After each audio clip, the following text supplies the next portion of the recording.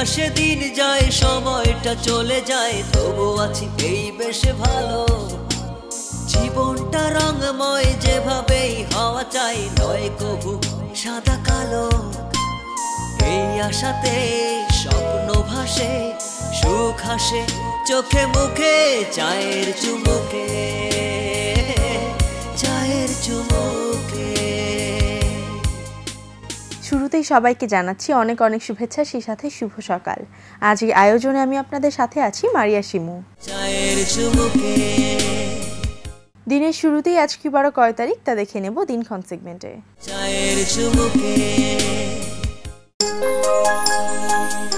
আজ মঙ্গলবার আটই সেপ্টেম্বর দু হাজার বিশ খ্রিস্টাব্দ চব্বিশে ভাদ্র চোদ্দশো সাতাশ বঙ্গাব্দ উনিশে মহরম চোদ্দশো বিয়াল্লিশ হিজড়ি। চায়ের চুমুকে। আমাদের দেশের আবহাওয়া প্রতিনিয়তই পরিবর্তনশীল। তাই আজ সারাদিনের আবহাওয়া কেমন থাকবে, আকাশের অবস্থা কি হবে, তা দেখে নেব হাওয়া বদল থেকে।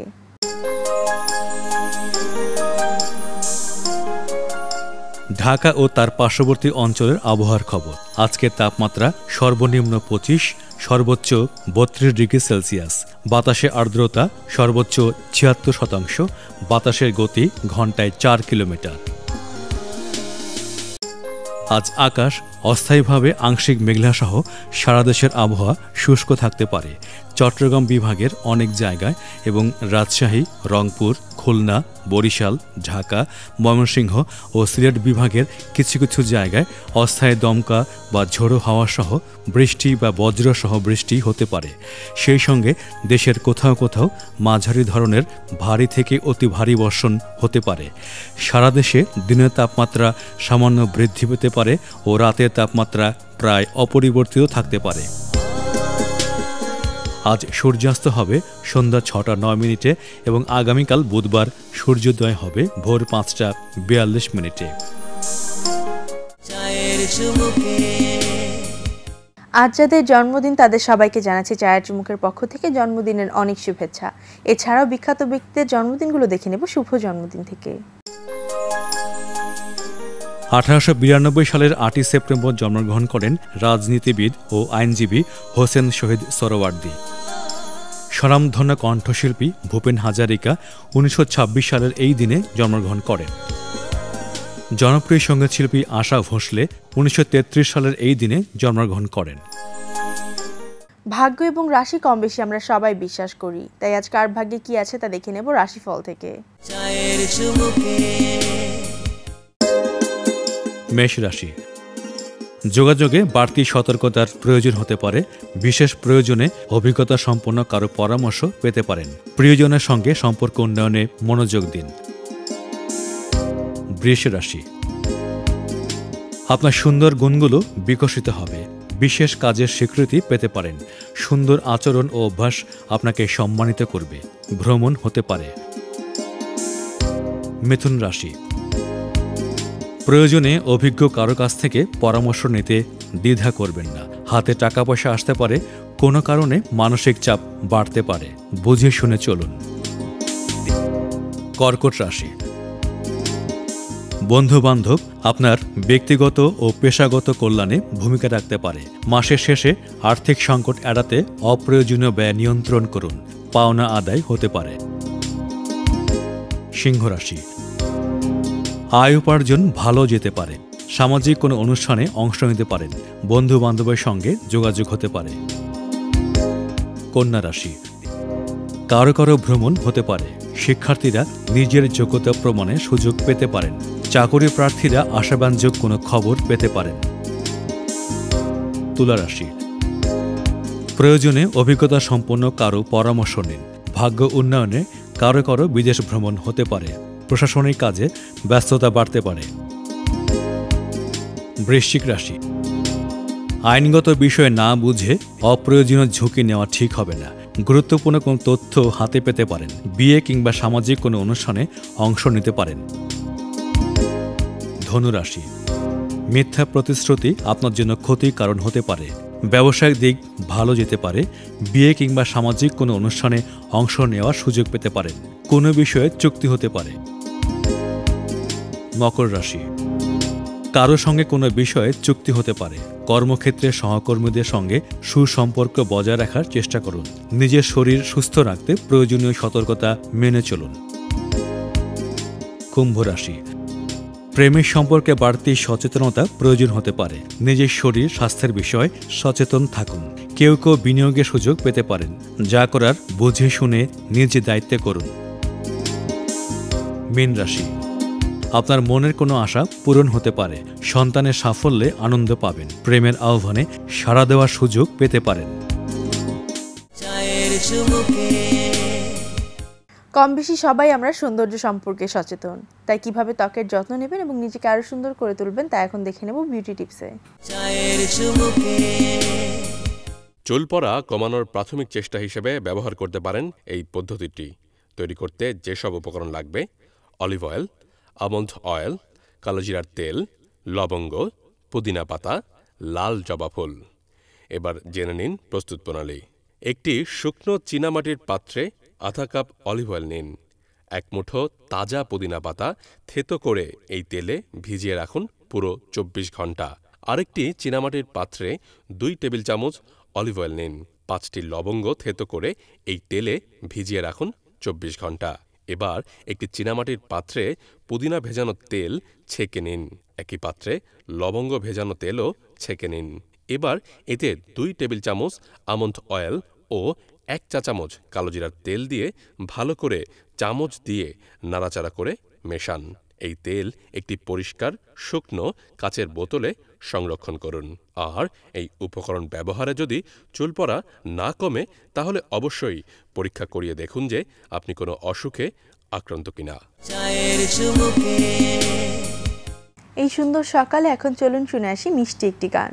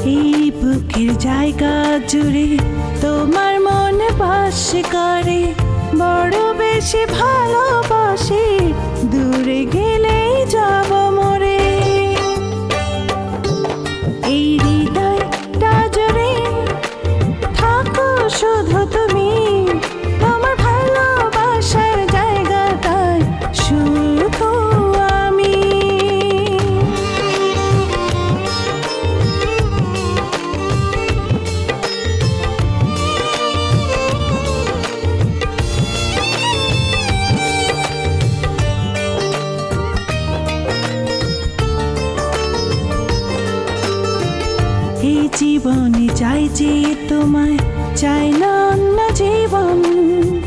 তোমার জন্য জন্ম আমার, এই কথা রেখো স্মরণ।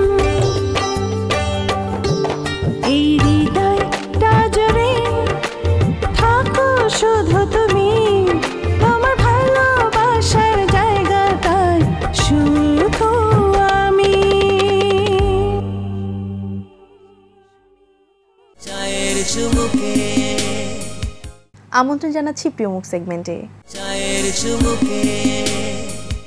আজ আমাদের মাঝে যিনি উপস্থিত আছেন প্রিয়মুখের বিশেষ অতিথি হিসেবে তিনি ইতিমধ্যে তার সুর এবং সংগীত দিয়ে সকলের মন জয় করে নিয়েছেন। তিনি সংগীত শিল্পী দিলশাদ নাহার কাকলি। শুভ সকাল কেমন আছেন? শুভ সকাল আলহামদুলিল্লাহ ভালো আছি। আচ্ছা তো আমরা দেখেছি ইতিমধ্যেই আপনার আহ, দুইটা সংগীত অনুষ্ঠান গিয়েছে এটিএন বাংলার পর্দায় এবং গানগুলো বেশ চমৎকার ছিল। প্রথমে জানতে চাই যে গানের শুরুটা কীভাবে হয়েছিল? গানটা শেখা কবে থেকে শুরু করেছিলেন? গানের শুরু শেখা তো এক- একদম ছোটবেলা বলব না। আমরা একদম মানে আমি যখন দেখছি আমার ভাই বোনরা সবাই গান করছে, আমার বড় বোন ছিল রেডিওতে মেজো বোন আছে রেডিওতে, এবং আমার ভাই ভায়োলিনিস্ট টিভিতে রেডিওতে বাজাতেন এবং টিভিতেও করেন। তো ওনাদেরকে দেখে আমার আস্তে আস্তে ইচ্ছা হলো যে আমিও করি। তখন শুরু করলাম আমার ভাইয়ের হাতেই প্রথমে হাতে করি। তারপর আমি ওস্তাদজির কাছে শিখেছি। আচ্ছা মানে পরিবার থেকে ইন্সপিরেশনটা এসেছে। হ্যাঁ। আচ্ছা কোন ধরনের গান গানের তো অনেকগুলো ধরন রয়েছে কোন ধরনের গান গাইতে স্বাচ্ছন্দ্য বোধ করতেন? আমি তো আধুনিক গানই করি। আধুনিক গানটাই বেশি করি এবং ছোটবেলায় অনেক নজরুল গীতি রবীন্দ্রসঙ্গীত এসব প্রতিযোগিতায় গিয়েছি। আচ্ছা। যখন থেকে গান গিয়েছি তারপর পরে আমরা বিভিন্ন প্রোগ্রাম হতো আমাদের। তো ওসব প্রোগ্রামে আমি প্রতিযোগিতাগুলোতে করেছি। প্রতিযোগিতায় অংশগ্রহণ করেছেন। করেছি, তারপর হ্যাঁ। আপনি বেছে নিলেন যে আধুনিক গানটাই আপনি গাইতে স্বাচ্ছন্দ্য বোধ হ্যাঁ। করবেন। তো এই যে গান শিখেছেন ছোটবেলা থেকে আমরা যেটা দেখি যে বাবা মায়েরা কিন্তু গান বাজনার দিকে শিশুদেরকে খুব একটা যেতে দেয় না বলে যে পড়াশোনা নষ্ট হয়ে যাবে বা পড়াশোনাটা আগে করো। তো সেই ক্ষেত্রে পরিবার থেকে কতটুকু সাপোর্ট পেয়েছেন? পরিবার থেকে আমার মা। আমার মা খুবই সংস্কৃত মনা ছিলেন এবং নিজে তো কবি ছিলেনই। গান লিখতেন এবং ওনার খুবই ইয়ে ছিলেন, ইচ্ছা ছিলেন যে আমাদেরকে এসব সংগীত জগতে গান করাবেন এবং বিশেষ করে আমার মেজো ভাইকে দিয়ে শুরু। আমার মেজো ভাই যখন একদম ছোট ছিল তখন থেকেই তবলা বাদন শুরু করতেন, করেছেন। দেন ভায়োলিন বাজিয়েছে, তারপর অর্গান এবং অনেক ইনস্ট্রুমেন্ট উনি জানতেন। এবং ওনাকে দিয়েই শুরু আমাদের আর কি। তারপর আমার বোন আসলেন। আমি আসলাম একে একে সবাই আর কি। আমার মাই সবচেয়ে বেশি অনুপ্রেরণা করেছে। বাবাও দিতেন গান করতে বলতেন কিন্তু খুব বেশি দিতেন না। বলতেন যে না পড়াশোনা নষ্ট হবে। ওইটাই আপনার কথাই। মায়ের কাছ থেকে সাপোর্টটা বেশি হ্যাঁ, এসেছে। হ্যাঁ। আচ্ছা তো যেহেতু আমরা জানি যে আপনি কিন্তু একটা বড় গুরু দায়িত্ব পালন করছেন, যেহেতু আপনি আমাদের সম্মানিত সেনাবাহিনী প্রধানের সহধর্মিনী সেই জায়গাটা থেকে কিন্তু অনেক ধরনের ব্যস্ততাই থাকে, অনেক ধরনের কর্তব্য থাকে, অনেক ধরনের কাজ থাকে। সেই জায়গা থেকে কি কখনো সেই দায়িত্বগুলো পালন করতে গিয়ে গান থেকে কি একটু সরে গিয়েছিলেন, নাকি চর্চাটা অব্যাহতই ছিল? গান থেকে একটু সরে গিয়েছিলাম। তখন একদম শুরুর দিকে আসলে অনেক বিভিন্ন প্রোগ্রাম শুরুর দিকে করতাম। যখন একদম ও জুনিয়র ইয়েতে ছিলেন অফিসার ছিলেন তখন বেশ প্রোগ্রাম করতাম এবং বিভিন্ন প্রোগ্রামগুলোতে আমাকে ডাকা হতো যেহেতু আমি গান পারি। তো আমাদের তো আর্মিতে বেশ চর্চা আছে যেমন প্রোগ্রাম হয় মাঝে সাংস্কৃতিক, সাংস্কৃতিক প্রোগ্রাম বেশি হয়। হয়। তো ওগুলোতে আমাকে খুব ডাকা হতো এবং শুরু থেকেই শুরু করেছি কিন্তু আমি একেবারেই। আচ্ছা। হ্যাঁ, তখন করেছি। তো মাঝখানে এসে একটু আমার গ্যাপ হয়ে গেছিল। তারপরে আবার শুরু করলাম আমার অ্যালবাম প্রথম অ্যালবাম যখন বের হলো দুই হাজার চোদ্দ সালে। আচ্ছা। চোদ্দ পনেরোর দিকে আর কি। তখন প্রথম অ্যালবাম শুরু হলো। তখন থেকে আমার মনে হলো যেন এখন একটু সুযোগ পাচ্ছি একটু করি। তখন থেকে কন্টিনিউ রেখেছেন? হ্যাঁ তখন থেকে কন্টিনিউ আচ্ছা। রেখেছি। এমনি তো যে প্রোগ্রামগুলোতে করতাম। টিভিতে খুব আসতে পারতাম না। খুব একটা কারণ আসা যাওয়া হতো না খুব একটা বিভিন্ন প্রোগ্রামের কারণে আমাদের অফিসিয়াল প্রোগ্রামের কারণে তখন আসা যাওয়া হতো না আর কি তো আচ্ছা। এমনি তখন ওইভাবেই আমরা আর্মি প্রোগ্রামগুলোতে করতাম। সেটা তো আপনাদের পরিবারেরই পরিবারের তো ওইটাতে কোনো হ্যাঁ। প্রবলেম হতো না তেমন। তো প্রথম গানটা প্রথম অ্যালবাম যখন আপনার বের হলো সেটা কি মিউজিক ভিডিও আকারে বের হয়েছিল নাকি শুধু হ্যাঁ, অডিও আকারে? হ্যাঁ হ্যাঁ। প্রথম পুরো অ্যালবামটা যখন হয়েছে একটা গান আমি মিউজিক ভিডিও করেছিলাম ওটা থেকে আমার শুরু আর কি। আচ্ছা। তো শুরু বলতে মানে আবার নতুন করে গান শুরু নতুন করে শুরু হলো সেটা প্রথম অ্যালবামের মাধ্যমে হ্যাঁ। তো আমরা যেটা জানি যে প্রত্যেকটা শিল্পীরই কিন্তু স্টেজের জায়গাটা বা মঞ্চ জায়গাটা কিন্তু অনেক ভালোবাসার জায়গা বা অনেক ভালোবাসেন। তো সেই জায়গা থেকে কি আপনি লাইক স্টুডিওতে যেমন রেকর্ডিং করে গান হচ্ছে সেটাতে বেশি কমফোর্টেবল নাকি স্টেজে বেশি কমফোর্টেবল আমাদের তো স্টেজেই সবসময় প্রোগ্রাম হয়েছে। লাইভ প্রোগ্রামগুলো সবসময় হয়েছে। ওগুলো করেছি। রেকর্ডিং তো হয় রেকর্ডিং করলে তো আরামেই থাকে সবাই। ওটা তো করা যায় বাট স্টেজ প্রোগ্রামগুলো ভালো লাগে কারণ সরাসরি দর্শকদের ইয়েটা বোঝা যায়। ফিডব্যাকটা পাওয়া যায়। হ্যাঁ মানে কে গান পছন্দ করছে কিংবা করছে কিনা সেগুলো বোঝা যায় ভালো লাগে। আচ্ছা আমরা দেখেছি এবার এবারের ঈদেই আপনার চমৎকার কিছু গান প্রকাশিত বা পাবলিশড হয়েছে আমাদের এটিএন বাংলার পর্দায়। তো সেখানে বেশ সুন্দর সুন্দর কিছু গান ছিল এবং আমরা দেখেছি মিউজিক ভিডিওগুলো চমৎকার চমৎকার জায়গায় করা হয়েছে। আমরা কি সেখান থেকে যে কোনো একটা গানের দুটো লাইন যদি একটু শুনতাম। ওকে তোমার প্রেমের বৃষ্টিতে আমি ভিজবো সারাদিন। সৃষ্টি সুখের উল্লাসে আজ মনটা করব রঙিন। তোমার প্রেমের বৃষ্টিতে আমি ভিজবো সারাদিন। সৃষ্টি সুখের উল্লাসে আজ কোনটা করব রঙিন?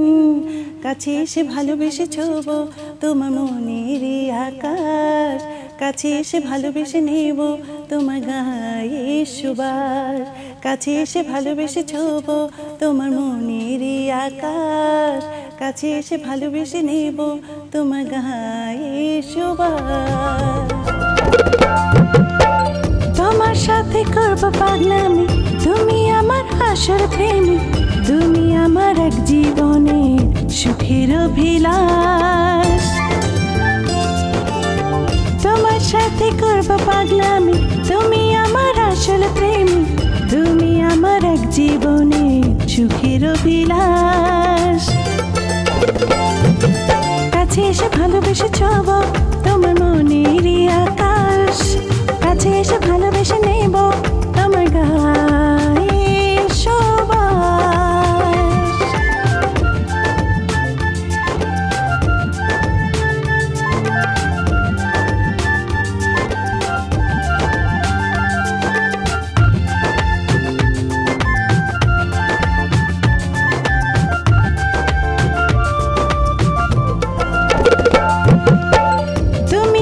শেষ তোমাতে, ভাবি তোমায় দিনে রাতে।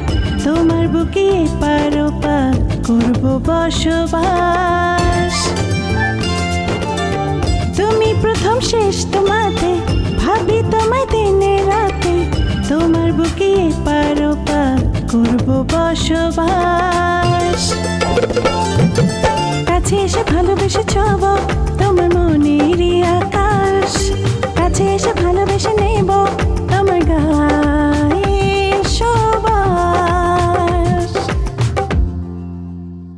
বাহ, চমৎকার, আমরা পুরো গানটা দেখে আসলাম এবং চমৎকার পারফরমেন্সও করেছেন আপনি। তো জানতে চাই যে যখন মিউজিক ভিডিওগুলো করা হয় আউটডোর শুটিং আমরা যতটুকু দেখি যেহেতু সাংস্কৃতিক অঙ্গনে আছি যে বাইরে বা আউটডোর শুট করাটা কিন্তু খুব কষ্টকর। কারণ রোদ থাকে, অনেক সময় মেঘ, বৃষ্টি, কত কিছুর মধ্যে করতে হয়। তো এই মিউজিক ভিডিও করার সময় তখনকার অনুভূতিটা কি? বিরক্ত হয়ে যান কিনা বা মনে হয় কিনা যে, থাক এখন আর দরকার নেই হ্যাঁ মাঝে মাঝে হই। কারণ অনেকগুলো গান যখন একসাথে থাকে তখন আসলে রেকর্ডিং করতে গেলে অনেকটা রোদ বৃষ্টি এগুলো মেনটেন করে তো করতে হয়। তখন একটু লাগে খারাপ লাগে আবার মনে হয় যে আচ্ছা যখন আবার টিভিতে দেখি গানটা সুন্দরভাবে শুটিং হচ্ছে গানগুলো ভালো লাগছে তখন আবার খুব আনন্দ লাগে। মানে কষ্টের ফলটা যখন কষ্টের ফলটা যখন দেখি যে ভালো হয়েছে তখন খুবই ভালো লাগে। আচ্ছা।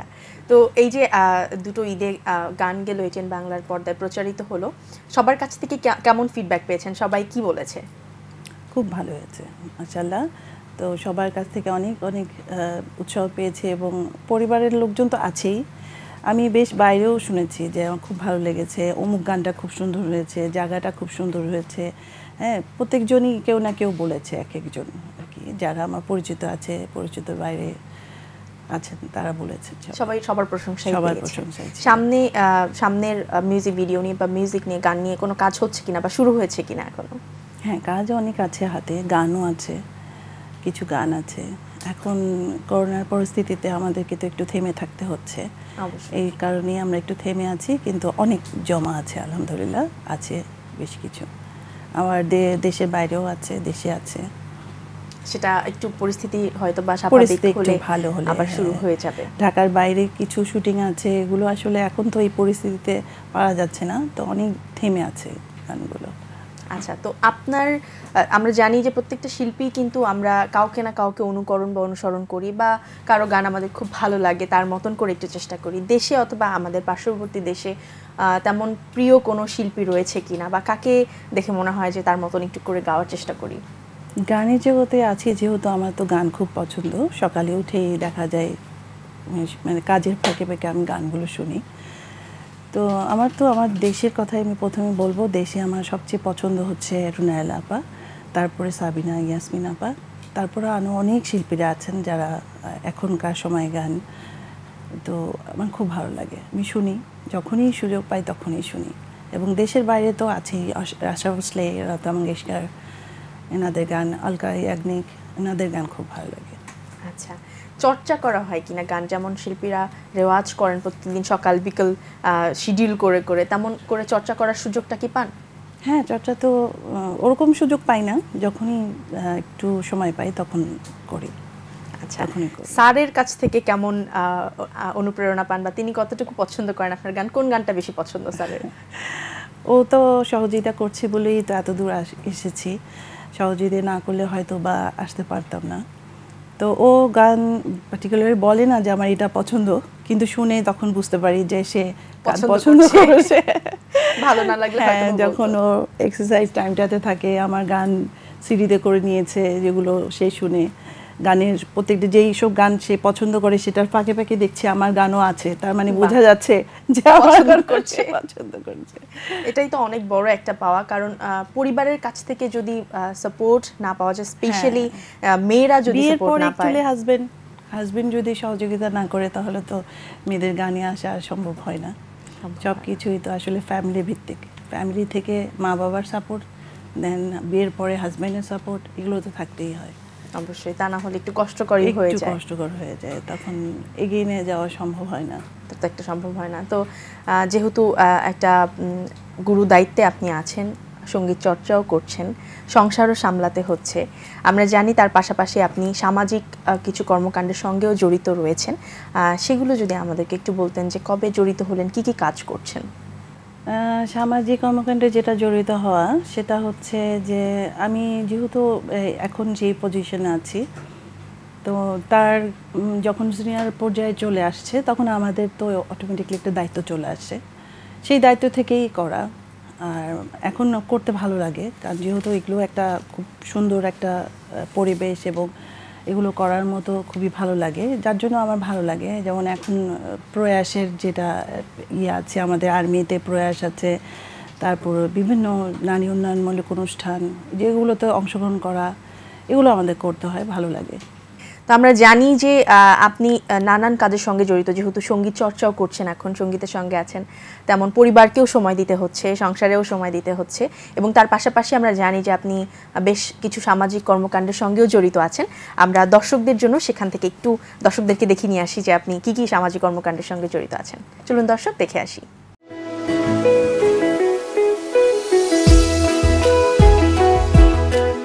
সেনা পরিবার কল্যাণ সমিতি বাংলাদেশ সেনাবাহিনীর পৃষ্ঠপোষকতায় উনিশশো পঁচাত্তর সালে প্রতিষ্ঠিত এক স্বপ্নের সংগঠন। নারী কল্যাণ, প্রগতি ও আত্মনির্ভরশীল ধারা অব্যাহত রাখার মিছিলে সংগঠনটির গতিপথ আরও মসৃণ হয়ে উঠেছে যার দিক নির্দেশনায় তিনি দিলশাদ নাহার আজিজ।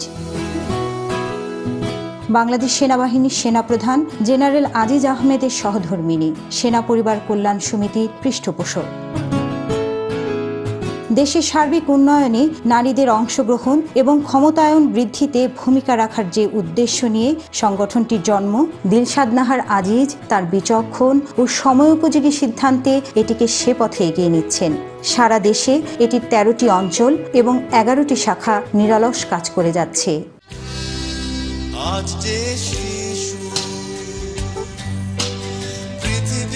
আলো এসেছে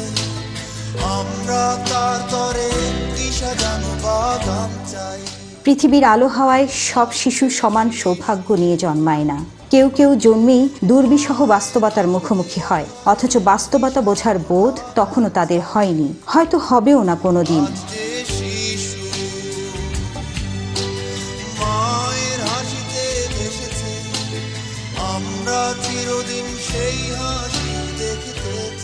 বাংলাদেশ সেনাবাহিনীর পৃষ্ঠপোষকতায় এই বিশেষ চাহিদা সম্পন্ন শিশুদের জন্য গড়া হয়েছে বিশেষায়িত শিক্ষা প্রতিষ্ঠান প্রয়াস।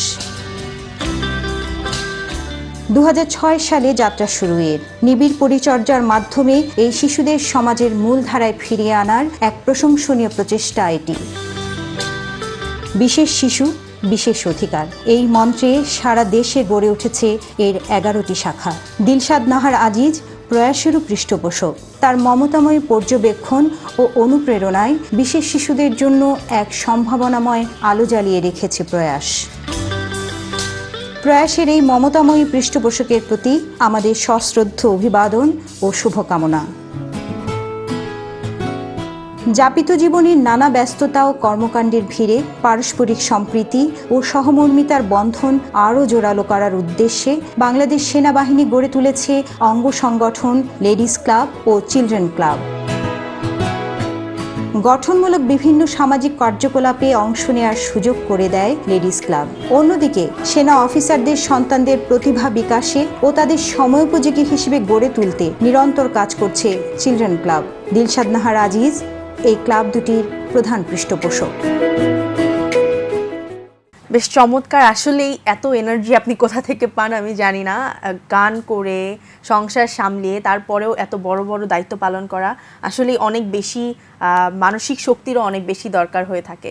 তো সংগীত নিয়ে আপনার ভবিষ্যৎ পরিকল্পনা কি একটু জানতে চাই? যেহেতু সংগীত আমার জীবনে একটি গুরুত্বপূর্ণ অংশ, তো সংগীত নিয়ে আরও এগিয়ে যেতে চাই এবং আরও ভালো ভালো কিছু কাজ করতে চাই। অবশ্যই, এবং আমরা সেটাই আশা করছি যে যেহেতু দর্শক আপনার গান খুব পছন্দ করছেন সেহেতু দর্শকদের জন্য আপনি কাজ করে যান একদম শেষ পর্যন্ত, সেটাই চাই। আমাদের দর্শকদের জন্য যদি কিছু বলার থাকে প্লিজ একটা শিল্পীর আসলে গানের সেখানে সাফলতা যেখানে শিল্পীর গানটা দর্শক পছন্দ করবে। তো যেহেতু দর্শকদের চাহিদা আছে, আমি চাই আর ভবিষ্যতে আরও সুন্দর সুন্দর গান উপহার দেওয়ার জন্য, এবং দর্শকরা যদি সেটা ভালোবাসেন, আমার সার্থকতা। আপনাকে অনেক ধন্যবাদ আমাদের আজকের আয়োজনে আসার জন্য এবং এত ব্যস্ত আপনি। তার মধ্যেও আমাদেরকে সময় দিয়েছেন। এই জন্য অনেক ধন্যবাদ এবং চায়ের চুমুকের পক্ষ থেকে এটিএন বাংলার পক্ষ থেকে শুভকামনা তো সবসময়ই থাকবে। আপনি গান নিয়ে আপনার বাকি যে কার্যক্রমগুলো রয়েছে সেগুলো নিয়ে আরও অনেক দূর এগিয়ে যান। অনেক ধন্যবাদ। অনেক ধন্যবাদ। এটিএন বাংলার সবাইকে অনেক অনেক ধন্যবাদ। যারা ক্যামেরায় আছেন ক্যামেরার পিছে আছেন তাদেরকে অনেক অনেক ধন্যবাদ জানাই আমাকে এখানে আমন্ত্রণ করার জন্য। ধন্যবাদ। সুপ্রিয় দর্শক, আজ এখানেই শেষ করব। আশা করছি আপনাদের সকলের খুব ভালো লেগেছে। দেখা হবে আগামীকাল নতুন কোন অতিথির সাথে। সে পর্যন্ত সকলে ভালো থাকুন, সুস্থ থাকুন, আমাদের সাথেই থাকুন, দেশকে ভালোবাসুন। চায়ের চুমুকের এই এপিসোডগুলো YouTube dot com slash ATN Bangla প্রোগ্রামে গেলেই পেয়ে যাবেন। সাবস্ক্রাইব করে সাথে থাকবেন। আল্লাহ হাফেজ। দিন আসে দিন যায়, সময়টা চলে যায়, তবু আছি এই বেশ ভালো। জীবনটা রঙময় যেভাবেই হওয়া চাই, নয় কবু সাদা কালো এই আশাতে স্বপ্ন ভাসে সুখ হাসে চোখে মুখে চায়ের চুমুকে চায়ের চুমুকে।